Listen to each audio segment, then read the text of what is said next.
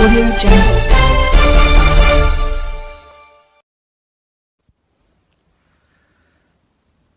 ప్రియమైన సహోదరి సహోదరులకు నా ఫేస్బుక్ ఫ్యాన్స్కి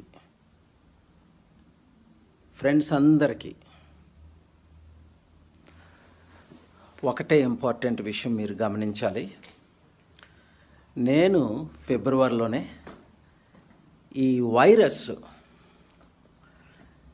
చైనా నుండి వుహాన్ నుండి పర్పస్ఫుల్గా రిలీజ్ చేసినట్టు ఇన్ఫర్మేషన్ ఉందని చెప్పాను. మార్చి ఎయిత్లో ఫేస్బుక్లో చెప్పాను. వన్ మంత్ వరల్డ్ లీడర్స్తో మాట్లాడిన తర్వాత world health organisation US government European union Chinese లీడర్షిప్తో మాట్లాడిన తర్వాత నేను ఊపిరిగా వచ్చాను. ఆ తర్వాత ఏప్రిల్ మేలో ఏప్రిల్లో ట్రంప్ గారు మెన్షన్ చేశారు. ఇది చైనాలో ఇంటెన్షనల్గా వచ్చిందని మాకు స్టేట్ డిపార్ట్మెంట్ ఇన్ఫర్మేషన్ ఉందని. కానీ ఇది డిస్మిస్ చేసి పడేశారు. ప్రపంచానికి నష్టం కలగబోతుంది.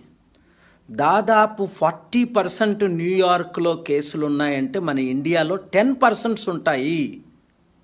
పట్టించుకున్నారా? కేర్ చేశారా? ఎవ్వరు కేర్ చేయాల.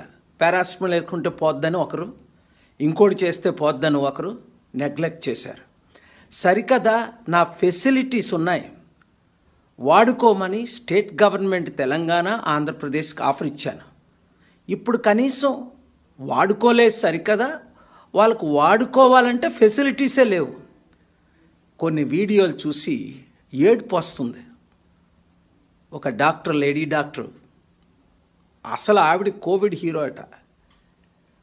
ఆవిడికి లక్షన్నర రూపాయలు కట్టవలసి వచ్చిందట ఒక రోజుకి. ఈ ప్రైవేట్ హాస్పిటల్ దుస్థితి గవర్నమెంట్ సీరియస్ యాక్షన్ తీసుకోపోతే అసలు ఎవరు కూడా కరోనా వైరస్కి డబ్బులు కట్ట అవసరం లేదని అమెరికాలో డిక్లేర్ చేశారు. ఇండియాలో ఎందుకు డిక్లేర్ చేయకూడదు? State government central government? నిజంగా అందుకే నేను రాజకీయాల్లో రావాలనిపిస్తుంది. ఇలాంటి అవినీతిని నిర్మూలన చేయడం కొరకు. ఏది అవినీతి జరిగినా నేను సహించలేను మరి. చిన్నప్పటి నుంచి దేవుడు నాకు పెట్టిన మంట. ఎయిటీ వన్లో నర్సీపట్నంలో ఎక్స్పైర్ మెడిసిన్స్ వాడుతుంటే అవినీతిని ఎక్స్పోజ్ చేశాను బాటవ శ్రీరామూర్తి గారిని పిలిపించి. నేను కాలేజ్ వైస్ చైర్మన్గా. ప్రపంచంలో ఇప్పుడు ట్రంప్తో యుద్ధం చేస్తున్నా. ఆయన అవినీతి ఆకాశాన్ని అంటుకుందని చైనా మన ఇండియాను ఆక్యుపై చేస్తుందని నాలుగు నెలల నుండి టీవీ నైన్ ఏబిఎన్లో ఫేస్బుక్ ద్వారా ఇండియన్ మీడియా ద్వారా వరల్డ్ మీడియా ద్వారా కొన్ని వేల మందిని సంతకాలు తీసుకొని చైనా మీద ఎంత ఒత్తిడి తీసుకొచ్చానో మీలో సంతకాలు చేసిన వేల మందికి మీకు తెలుసు. చైనాని ఫినిష్ చేయాలంటే ఈ కరోనాని ఎక్స్పోజ్ చేయాలి. ఇంకా చాలామంది పట్టించుకోలేదు. ప్రతిదానికి దేవుడు నాకు కరోనా వైరస్ ఇది చైనా నుంచి వచ్చిందని చెప్పాను. ఇది ఇంటెన్షనల్ అని చెప్పాను. ప్రాపర్ ఇన్వెస్టిగేషన్ చేయమని చెప్పాను. వాళ్ళకి అవినీతిగా వాళ్ళు ఇచ్చిన డబ్బుని డెట్నన్నిటిని ఫర్గివ్ చేయమని చెప్పాను. Free medical supplies equipment demand చేశాను. అన్నీ జరుగుతున్నాయి. ఇప్పుడు అరవై రెండు దేశాలు ప్రపంచంలో నాతో ఏకమయ్యాయి. ఇలాంటి మంచివి మన తెలుగు మీడియా వారు చూపించరు కదా. ఎందుకు నేను తెలుగు మీడియాలో తెలుగులో మాట్లాడుతున్నాను? పన్నెండు కోట్ల తెలుగు ప్రజలు. నేనంటే దాదాపు తొంభై శాతం ప్రజలకి ప్రాణం అభిమానం. మరి ఎలక్షన్లో ఓట్లు ఎందుకు వేయలేదు అంటారు? మీకు తెలుసు కదా ఇప్పుడు ఏమవుతుందో రఘురామకృష్ణరాజు విషయంలో? మే ఇరవై ఎనిమిదిని టైమ్స్ నౌ ఇంటర్వ్యూలో ఆయన చూసినప్పుడు ఆయన ఇష్టం వచ్చినట్లు మాట్లాడితే దాన్ని నేను ఖండించి రిపెంట్ అయ్యి సారీ చెప్పమని చెప్తే లేదా వైఎస్ఆర్సీపీ గవర్నమెంట్ ఆయన సస్పెండ్ చేయాలని నేను డిమాండ్ చేశా. బీజేపీ మోదీ ఆర్ఎస్ఎస్ గవర్నమెంట్లు వారు ఎవరు సపోర్ట్ చేస్తున్నారో చేయకూడదని డిమాండ్ చేశా. ఏమైంది ఇప్పుడు? నేను చెప్పినయే ప్రతిదీ జరుగుతుంది.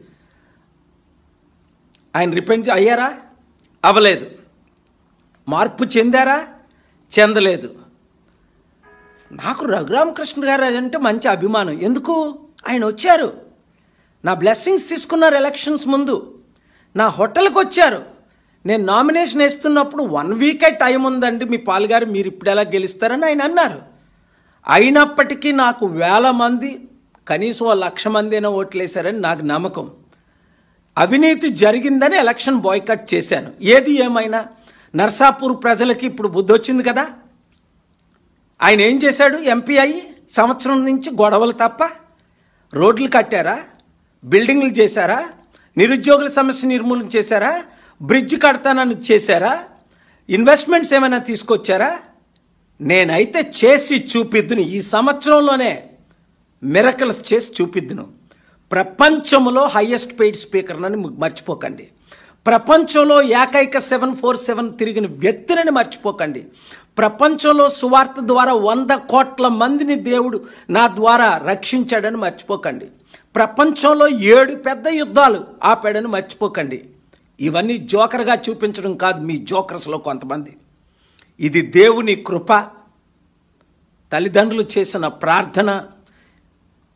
రెండు కోట్ల పది లక్షల మంది ప్రతి శనివారం నాతో ఉపవాసం ఉండి చేసి వచ్చిన ప్రేయర్ వల్ల ఇప్పుడు నా బ్లాక్ బస్టర్ బుక్ బయలుకు రాబోతుంది.